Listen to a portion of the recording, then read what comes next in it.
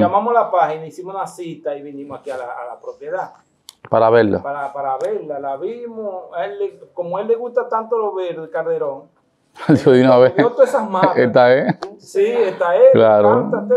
Entonces, cuando yo vi los blogs, yo dije, aquí, porque yo me di cuenta, y le digo al dueño, aquí como que se inunda. No, no se inunda. Claro. Yo estoy mirando que los blogs que ellos pusieron ahí atrás, te lo vio el, Sí. tipo de blog que tiene, es para que el agua cruce. Claro. Y nunca no fue, no fue sincero. ¿Cómo yo con eso que parece un error lo convierto en un lago artificial? Que con los jardines alrededor, que con los senderos alrededor. Qué brillante. ah, ah, Llamamos la página, hicimos una cita y vinimos aquí a la, a la propiedad Para verla. para, para verla. La vimos, a él le- como a él le gusta tanto lo verde, Calderón, Digo de una vez. todas esas. Esta es. Sí. Claro. Entonces, cuando yo vi los blogs, yo dije, aquí, porque yo me di cuenta. Y le digo al dueño, aquí como que se inunda. No, no se inunda. Claro. Yo estoy mirando que los blogs que ellos pusieron ahí atrás, te lo vio el, el Sí. tipo de blog que tiene, es para que el agua cruce. Claro. Y nunca no fue, no fue sincero en, Claro. en ese aspecto. Pero el hijo mío le gustó y ya te sabes, se compró. No se vio compraba. demasiado relevante Sí. el problema. No. Y más que estaba vendiendo más por debajo De lo de lo, normal. de lo normal, por el metraje, que el metraje era otro Sí. precio y estaba. Exacto, sí. Sí. Ok. Aparte de esta casa, ¿vieron otra? Eh, vimos diferentes propiedades. Sí. Eh, por ejemplo, finquitas, otras casas con menos, eh, más abajo el view, sí. pero eran como más fincas o más, muy metidas. muy- Exacto. Y nosotros no queríamos que fueran tan, tampoco tan alejadas. Claro. Uno dice, el objetivo de John es poder crear una casa que le sirva para vivir cuando venga, o para venir de vacaciones, y que también que la puedan rentar cuando no esté aquí. Porque estamos conscientes, Henry, que él no va a venir a vivir para acá. Quisiéramos, él va a usar la villa el 20% del año, que son los dos meses o tres meses cuando venga, como mucho, porque la responsabilidad del trabajo y todas las cosas que tiene no se lo permiten. Entonces, como tenemos 20% cuando venga y 80% aquí, el objetivo principal es más co- co- comercial que de uso. Entonces, lo que hay que buscar es el punto medio de entre los gustos de él y el tema comercial. Entonces, es muy normal que así como él se ve muy con una vocación muy llamada a los espacios grandes, ¿verdad? Con una vocación muy llamada a las villas de cierto nivel. Así hayan otros nichos de mercado que son de aquí, de Baní, que se fueron a Estados Unidos, que se fueron a España, que se fueron a Canadá, que también cuando vuelven tienen la misma situación. Buscan villa, pero como que no encuentran algo que se iguale a sus gustos. Alquilan esa, de esa les gusta la mitad y la otra quizá no, pero hay que trabajar sobre Ángel con lo que hay. Sí, claro. Claro, sí. ¿verdad? Entonces quieren comprar una, pero ninguna se ajusta al 100%. No, Como yo entiendo que esta estructura primero debe ser atractiva para el mercado, ¿cuáles son los elementos que van en función a los gustos del mercado? Y que yo tengo que tomar en cuenta para poner aquí en el terreno. Porque funciona así, vamos a verlo así. El terreno de usted tiene una calle aquí, ¿verdad? Que es esa. El terreno va, vamos a hacerlo para el ejemplo, tiene una división del muro aquí, que es esa, y termina aquí atrás con otra calle, para el ejemplo, ¿ok? Entonces, ¿qué estamos diciendo? Que son dos frentes, uno por aquí y uno por aquí. Tenemos una calle aquí, que fue donde nos parqueamos aquí, y tenemos otra calle aquí, que es esa la que se ve por allí. De ser así, el lado que se me inunda es este, ¿sí o no? Aquí tenemos el agua.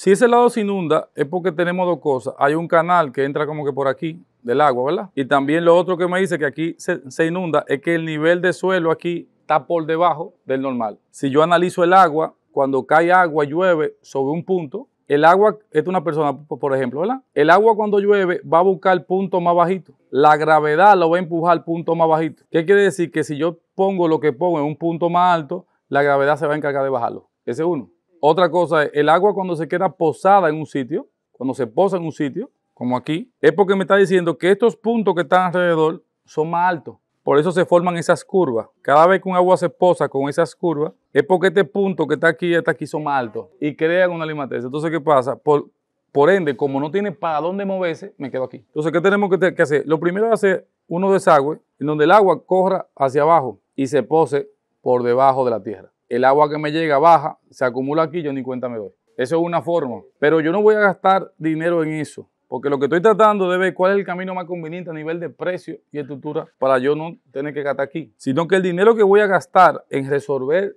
el tema del que se inunda, primero lo coloco aquí, en la casa. ¿Qué tan atractiva hago la casa para que se me rente. Y trato de esta inundación mimetizarla. Alderón, ¿qué es eso de mimetizarla? Si yo soy fan del área verde, no se pregunta por qué uno es fan del área verde. Claro, porque nos vamos a Estados Unidos, Sol Ángel, desde que nos mudamos, en un apartamentico muy apretado. Al principio así, o todos llegamos a trabajar. Es tan apretado que cocino y el olor se queda en el apartamento. Salgo y todavía huele a comida, porque es muy apretado.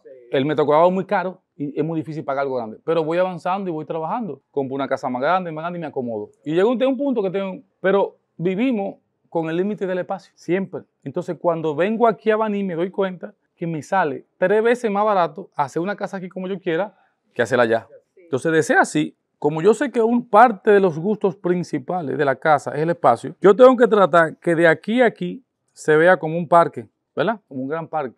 Y cuando veo un parque, cuando yo voy a Central Park en Estados Unidos, ¿qué veo? Ah, veo área verde, Calderón. ¿Qué más veo? Veo senderos, veo flores. Me falta algo. ¿Qué más veo? Eh, en caso, en este caso, eh, Agua. hay- agua- Agua. Ah, ya ustedes lo están diciendo. Entonces, ¿cómo yo con eso que parece un error lo convierto en un lago artificial? Que con los jardines alrededor, que con los senderos alrededor, Qué brillante. ah, ah, qué brillante. lo que el otro ve como lodo, yo lo convierto en un diamante. ¿Me entendió? Entonces, eso que es agua, que es natural, ahora es un lago artificial que puede tener patico, que puede tener sendero, que puede tener vegetación, jardinería. Entonces, en vez de esconderlo como este muro, voy a abrir la casa para que disfruten ese paisaje natural del lago artificial que tiene la casa. Esa pared, me dice. Me Claro. tumbarla, yo Porque, claro, porque ahora esa pared es como el muro de la vergüenza, Henry. Sí. A que no se vea que se inunda. Ok, eso mismo. Es el muro de la vergüenza, no quiero que se vea. Entonces, entonces ahora yo convierto esto, yo convierto un cáncer en una bendición. Porque ya el agua me llega, ya los puntos de apoyo están más bajos. Lo que voy es a convertirlo en un lago artificial, que tenga peces, que tenga patos, tortuguitas, que la gente no, beber un café aquí sea un halago. Ah, claro. Otra cosa, le pongo piedra. Entonces, ahora sí quiero. Sin embargo, lo mejor que le pasó a ustedes fue comprarlo, porque lo compraron a precio del lodo. Cuando él vea cómo se va a convertir la casa, entonces va a querer que se lo devuelvan el terreno. Va a vivir al frente. Va a vivir. Entonces, entonces, de ser así, lo que estamos diciendo, que el gusto, que es el parque de, de John, se debe de convertir en el diamante de la casa. Por ende, esa misma audiencia, al igual que John, que son fan de la verde, de la naturaleza, son los primeros que me van a rentar, no por la casa, sino por el lago. Porque yo tomo un dron aquí mismo y comienzo a dar vuelta en Baní completo, Boca Canasta, aquí, aquí, todos los sitios. No existe un lago. ¿Y qué pasa cuando yo tengo el lago? O me pagan lo que yo pido, o ese lujo aquí no se lo van a dar. Exacto. Y el precio de la renta va para arriba.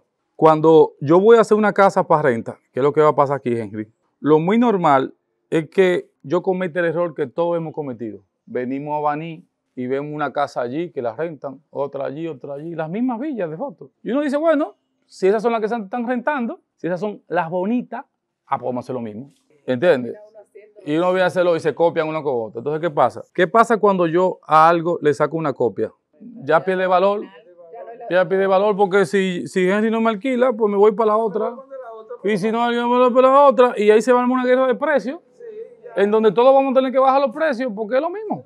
son Es tres copias. Tres copias. Ahora, cuando dentro de, la- de los ingredientes, de mi fórmula, de mi producto, de algo, tengo elementos en donde soy el único en Baní que lo tiene, pues yo puedo colonizar un segmento de mercado que es fan de estos ambientes. Porque no vienen aquí a vivir.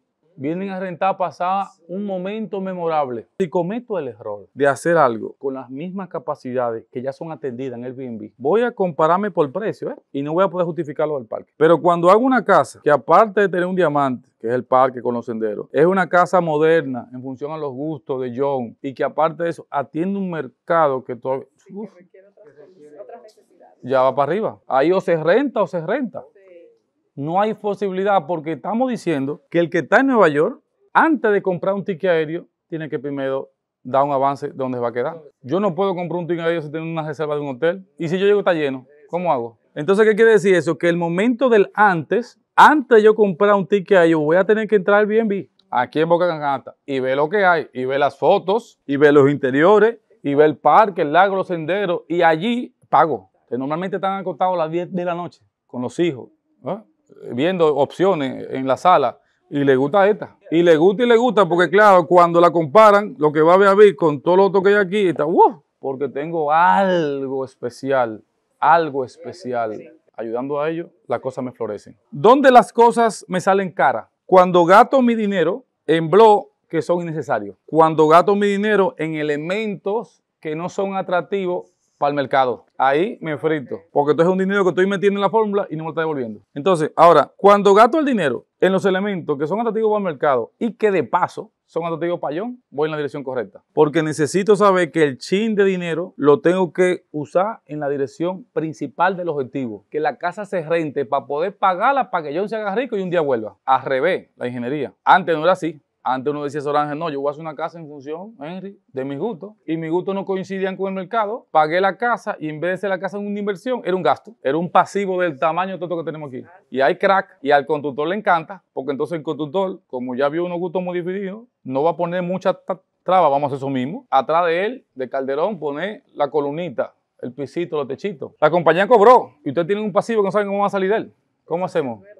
Sí, ya nos pasó en una evaluación con con un familiar. ¿Qué fue lo que pasó? Cuénteme. Ah, él tiene una finca y bueno, él quiere hacer algo ahí para eso mismo, para venir y, y pasear. La finca, o sea, es el área donde él nació y todo, ya usted sabe. Y entonces eh, él quiere hacer un, proyecto ahí, una casa con mucho exterior, bonito, Muy bonito. pero grande porque tienen hijos, nietos y amigos y demás. Entonces, eh, le hicieron una, un diseño, o sea, un arquitecto de la zona. Pero le diseñó una casa minimalista, 3D, eh, preciosa, preciosa, con grandísima, combinaciones de primera, pero cuando le dio el precio, una barbaridad, una barbaridad. Jamás con el enfoque con que usted trabaja, o sea, lo seguimos hace mucho tiempo y por eso mismo es que eh, queríamos verlo, queríamos orientación, porque él le trabajó en función del diseño, del lujo, de lo extravagante, de lo impresionante, pero ¿y cuándo él va a recuperar algo de ese dinero? Y, todavía, porque tal vez no tenga tanto la necesidad de que el proyecto le devuelva el dinero en X tiempo, porque tiene otros negocios en Estados Unidos, otras, otras inversiones, pero no. El valor, si yo tomo una tuerca, una tuerca, Sorange, Henry, una tuerca del piso. ¿Me cuesta cuánto? Un peso. Si yo cojo esa tuerca y le paso pulidora, y la comienzo a pulir, llega un punto que la tuerca comienza a coger esta forma. Si la sigo puliendo, Henry, llega un punto que comienza a coger esta forma y aparte comienza a coger brillo. Si la sigo puliendo, ya brilla mucho y la puedo meter en una, eh, en una cajita chiquita y se la doy a una niña de compromiso para que se case conmigo. El valor que le da la niña a ese anillo de compromiso es mil veces el dólar que me costó. ¿Y qué fue lo que pasó ahí? Que ese mismo anillo yo se lo doy a un niño de un año y lo bota. El valor va a ser en función de qué tanta nos igualamos a los gustos y el momento emocional del otro. Entonces, puedo tener una casa que cueste un millón, pero si no me gusta, no la doy. Así como puedo tener una casa que cueste 100 millones, pero si me gusta y va dentro de mis gustos, no los gustos de Calderón, ni los de Sorange, ni los de Henry, los gustos del que la base sube. Entonces, cuando veo que no hay coherencia dinero-producto, no es que está cara, es que detrás no hubo un escrutinio, no hubo un discernimiento para yo entender la razón de ser del proyecto. En el caso de ustedes, la razón de ser en el tiempo pareciera como que es 100% una casa para que viva John. Pero del año, John va a vivir el 20% aquí, ¿eh? Y el otro 80%, ¿quién la usa? Entonces, la razón de ser no es vivir. La razón de ser es, la prioridad es que se alquile, que se rente, porque si se renta, se puede justificar los pagos de esto y de paso, John la usa. Entonces, al revés. Entonces, comenzamos a, coger el dinero, a coger la, la tuerca y alinearla, este 80% en función a los gustos del mercado. De manera que aquí el presupuesto puede subir hasta donde suba, ¿eh? Siempre y cuando podamos garantizar que se va a rentar. Yo puedo hacer una casa de 100 millones de pesos. Si la vendía el otro día en 200 millones, no hay problema. Y si yo, antes de construir la casa, antes de gastar un bloso, Ángel, ya la tengo vendida, no hay problema que cueste 100 millones la casa, ni que cueste 8, ni que, porque la gestión es un tema comercial. Pero lo que pasaba antes, Henry, era que construíamos la casa a ver si se vende. y ahí estábamos en riesgo, nos quedamos con un pasivo. Hacemos el diseño de la casa de John, a ver si se alquila. Ellos parece que la unieron, Henry, ahí. Ellos ampliaron la casa, ¿se fija? Si, yo van- si yo veo entre la hendidura, yo puedo ver la luz ahí. Ellos hicieron una junta ahí fría para andar a casa y la andaron hacia allá y ahí cambió el piso. Fíjese cómo cambió el piso ahí, lo que estaba diciendo. Entonces ellos no encontraron este, este- este mosaico y pusieron otro. Ahora se ve la casa mitad a mitad.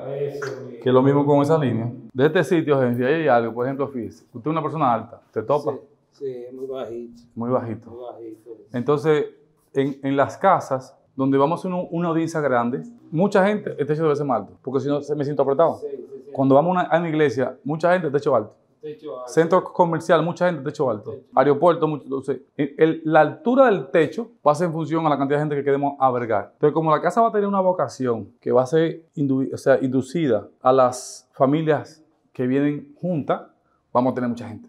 El techo debe ser más alto. Entonces, hay que ver este espacio, en qué lo podemos convertir, en qué lo podemos bautizar, pero no va a ser una entrada, No va a ser nada, no. porque me afecta.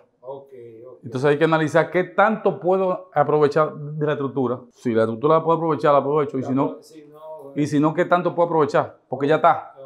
Hay que aprovecharla, no se puede se- Aquí también está en altura. Lo que siento que pasó fue que ellos, la casa estaba hasta aquí y ellos la continuaban hacia allá. La hicieron, la continuaron hacia adelante. y- Sí, miren. Concho, pero hicieron un techo demasiado bajito. O puede ser, o puede ser que fue al revés.